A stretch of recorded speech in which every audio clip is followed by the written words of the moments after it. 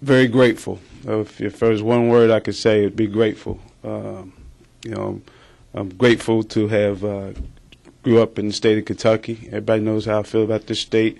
Very grateful to have went to the University of Kentucky on an on a athletic scholarship. Um, everybody knows how I feel about this program. Um, the people of Kentucky, uh, you know, coming back here five years ago, uh, the support that myself and my family got uh, uh when we came back uh, has been unbelievable. Um, very grateful to have coached and, and, mentored under Coach Brooks. very grateful to have a president like Dr. Todd. Uh, very grateful to have a athletic director like Mitch Barnhart. Uh, uh, he and Dr. Todd stood by this by the staff when um, um, it wasn't the popular thing to do, uh, especially three years ago. It wasn't the popular thing to do, but they stood by us. They saw our vision. They saw our plan, uh, and uh,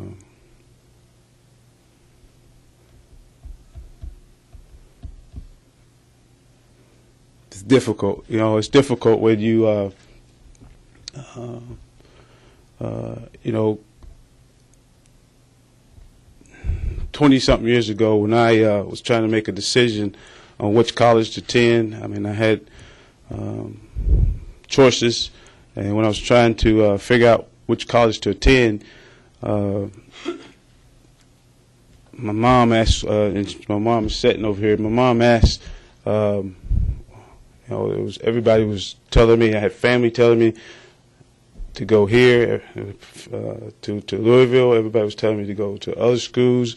Uh, my mom came to me and, and uh, asked uh, Joe, "Where do you want to go?" And uh, and I told her that uh, I wanted to go to Kentucky. I always have. And it, it, it wasn't the popular choice of of many of um, fam family.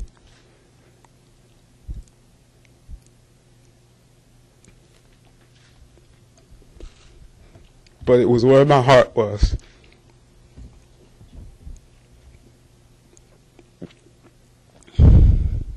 And to um, have an opportunity to someday lead this program. Uh, was real special to uh, to myself and my family. Um, this uh, thing is, uh, you know, I've appreciate the support of, of, of everybody. The, the, journey's been been uh,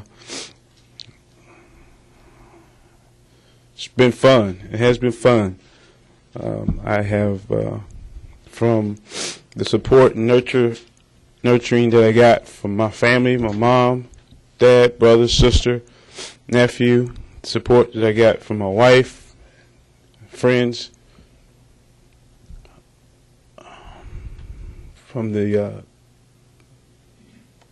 coming up in a little small town, the the, the, school system that um, Franklin, Kentucky, um, and uh, oh, the saying that that it takes a village to raise a child. Well, the state, city of Franklin, which is not many people, it's about like this, about the size of this room.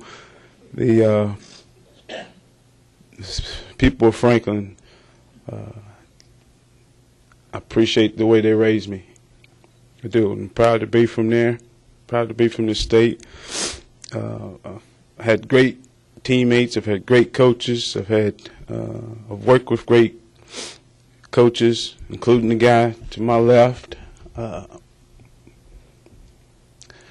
when uh, Mr. Barnhart hired Rich Brooks, uh, I was at a high school basketball game in my hometown watching my niece play for her first high school game, and the and I was at another university, and the ring went out across the gym that um, Kentucky had just hired Rich Brooks, and everybody said, "Who?"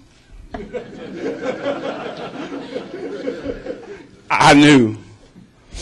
I knew. I had a chance to work with him at uh, when he was at the Falcons, and and I told leaned over to my wife and said, "It's just a matter of time when the place explodes." Um, uh, you know, Rich. I've watched Rich plow ahead uh, and uh, changing all the doubters and the naysayers that said we couldn't do it. Uh, we couldn't change the perception. I've watched him uh, lead the team, uh, and not only teach the team, but teach the coach, the coaching staff, and the and the supporters uh, how to swim upstream and ignore the current. I mean, he's he's stuck to the plan. I, I, I mentioned once before to to a reporter that Rich Brooks was definitely the right guy for this job. Uh, and people talked about his, his his age, talked about him being out of it. But the thing that I saw that if a, a young guy would have deviated his plan, Rich stuck to his plan, and uh, because there was times when some of the staff thought we needed to change the plan, but but the guy knows how to build a program. He knows how to run the program. He's done it with with bringing character players in the program. He's done it the right way, and it hadn't always been done the right way here. And I think that that's uh, speaks volumes of him. Um, this thing is exciting. Exciting for me. It's me and my wife, my family, uh, and uh, you know when Rich is ready to go fishing, I'm looking forward to someday running this program. Thank you